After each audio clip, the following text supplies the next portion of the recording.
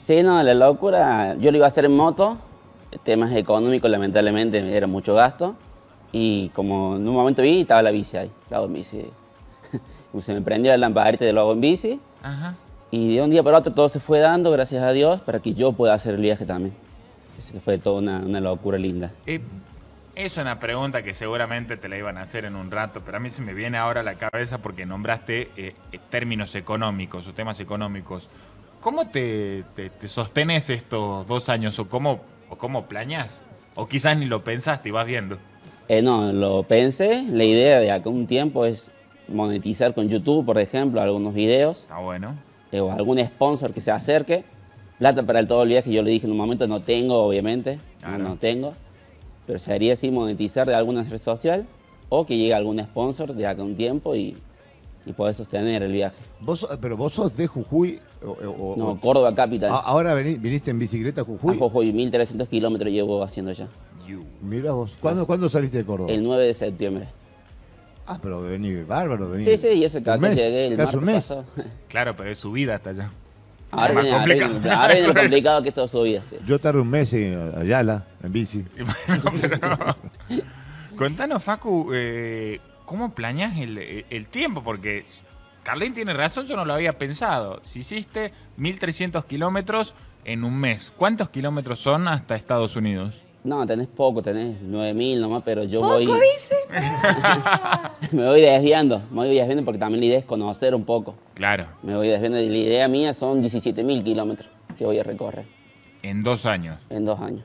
Dos El, más. el mundial es en el 26, ¿no es cierto? Eh, claro, en, en- en dos años, como dijo Facu. Pero a fines, eh, ¿qué, qué, qué gana el mundial? ¿Octubre o junio? Eh, Eh, junio, me junio, parece que 6 de junio, junio. a mitad de año, como, Sí, como siempre, año, sacando sí. Qatar, digamos. Ahora, yo pienso, cuando llegas a un lugar, ¿ya, ya tenés visto cuáles van a ser los lugares en donde vas a llegar o se va dando también en el viaje? Y cuando llegas es a dónde paro, a dónde como, a dónde duermo, a dónde dejo la bici. ¿Cómo lo vas planeando? Eh, no, sí, tengo una ruta yo planeada, pero por ahí gente me escribe en el TikTok y me dice, venite para tal lugar, acá te vamos a recibir, te vamos a dar alojamiento, comida.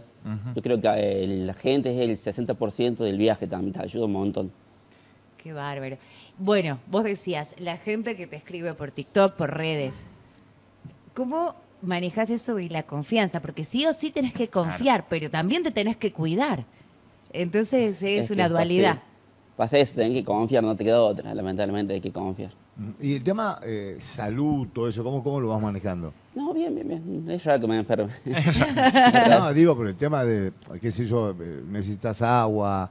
ah, no, eh, eso me hidratarte. no, sí, no, me dan... eh, tengo una botella igual con un filtro. O sea, no soy de tomar agua de la canilla, pero Claro. Con la botella con filtro pasa. Eh, En este viaje, Facu, te pregunto, porque yo me quedé pensando en lo que decía Maru de, de- de confiar en la gente. ¿Hay más gente buena que lo que uno cree y uno usualmente e- es, desconfiado de, de- lo que pueda llegar a pasar? Sí, no, hay bastante, gente- bastante gente buena. Claro. Bastante. Nunca me pasó nada. En el mes este que salí nunca me pasó nada. Claro. Y hay, y hay gente que te mira y te dice, che, quiero acompañarte, loco, quiero subirme a la bici con vos para allá. ¿Te ¿Encontraste así? Sí, un montón y un montón me han escrito si podían venir. Sí, le digo, pero del dicho al hecho. Claro. No, ¿Vos sos soltero, tenés familia? Tengo un hijo, sí, tengo un hijo. Por eso decía al principio que todo se fue dando para que yo pueda hacer el viaje. Mi mamá, por ejemplo, fue la que me ayudó a armar la bici también. Ajá. Y fue la que cuida a mi hijo en estos dos años que yo voy a estar ausente, para que mi expareja trabaje. Ajá. ¿Y cómo armaste la bici? Porque no es armar una bici así como decía Carlín para ir a Yala o para hacer un tramo corto. Claro. Si no hay que armar una bici que se la banque, pero que tampoco sea pesada. Es, no sé, esa mezcla. Claro, si no, no tiene que ser pesada porque cuesta bastante. Por ejemplo, a mí lo que más me costó en el viaje hasta el momento fue subir de Montero, que está a 300 metros, a Tafí del Valle, que está a 2500. Claro. Ahí fueron 12 horas de pedalear, pedalear, pedalear. ¿Y qué se lleva? Porque estamos viendo ahí la bici con, con las mochilas especiales, que no me acuerdo cómo se llaman, pero ¿qué se, sí. sí, ¿qué, qué se lleva ahí? Y ahí llevas, sí o sí, la carpa tiene que ser esencial, Sí. una bolsa de dormir, Sí. eh, y llevas para cocinar también, ropa, eh, llevar herramientas para arreglar la bici. Ajá. ¿Y cuándo? Yo, esta pregunta después puede sonar medio sonsa, pero siempre lo pensé cuando veía este tipo de, de- de aventuras y después vamos a, a dar un número para que la gente se pueda contactar con vos o, darte una mano. ¿Cómo elegís la ropa? Digamos? ¿Cómo decís llevo dos de este pantalón, dos remeras, eh, la ¿Cómo lleva la camiseta de? Belgrano, claro, el, el buzo, eh, una campera y dos pares de zapatillas? ¿Cómo, cómo- cómo fue esa selección, digamos? No, y fue difícil, sí, tenía un montón de rioma la ropa, me encanta. Claro, por fue difícil, sí, fue, no, fue difícil, para mí fue difícil elegir. La camiseta de y de Argentina infaltable y la bandera de Argentina infaltable. Ok, y de ahí hay un jean, seguro. Sí, seguro, sí, siempre. Por la duda, por si hay que Sí, salir de hay noche. que salir a conocer de noche. Eh, un buzo, seguro. Seguro también. sí. Encima se me perdió el buzo, el, el segundo día que sale se me perdió. No. No, bueno. Ferne- ¿Fernecito? ¿Ah? ¿Fernecito? Eh, no, por ahora no. No, por ahora no, pues está pedaleando. Eh. Eh, de ahí tenemos una campera, Una campera sí. una gorra, Sí. seguro. Dos No, pantalones el cortos. casco, el casco. El Bueno, casco el- también. El casco. Protector solar que no puede faltar también. Eh, cuatro pares media, por lo menos. Sí, exactamente. Cuatro calzoncillos, Sí. también, por lo menos. Por lo menos, sí, sí, sí. puede lavar también. Claro, te cuento, no, bueno, o sea. sí, pero aquí lo va a estar lavando todos los días. Sí. Eh, dos jogging o Sí. dos pantalones deportivos. Eh, no, ese no traje. No traje ninguno. ¿No trajiste ninguno? No, dos Jordan no traje. ¿Tuviste algún tipo de inconveniente en algún mm, eh, zona limítrofe, por ejemplo?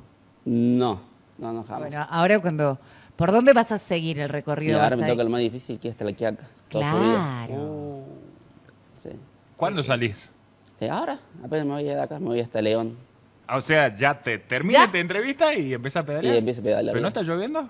No importa. No importa, lo mismo. Sí, ya, ya, ya estoy del viernes acá parado y ya me hace falta seguir. Bueno, para, para. Si me decís, estuviste desde el viernes acá, llevas algunos días, y quiero preguntarte, vos como cordobés, ¿qué te sorprendió de Jujuy y qué hizo que te quedes desde el viernes hasta hoy? Y la gente, la gente acá me ayudó un montón.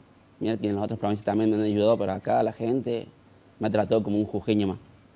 Y me han brindado una mano siempre donde quedarme, todo, me han buscado la solución. Ajá. Y el- los paisajes que tiene, fui a las yungas, impresionante. Mirá. Y quise volver y conocer todo lo que es la quebrada ahora.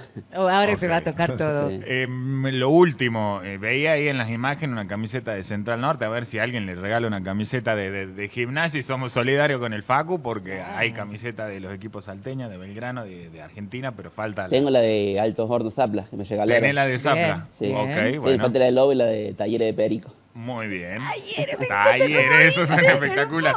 Eh, Facu, quien te quiera dar una manito, ¿cómo hace para, para contactarse con vos, para seguirte, para, Y- para subirse esta locura de donde estén? Y mi TikTok es Facu González, las dos con Z, punto 20. Ujú. Y mi YouTube Facu González 20, todos juntos. Ok. Ahora cuando, cuando por ahí, qué sé yo, tenés algún tipo de inconveniente con, con las ruedas, llevas todos los elementos para...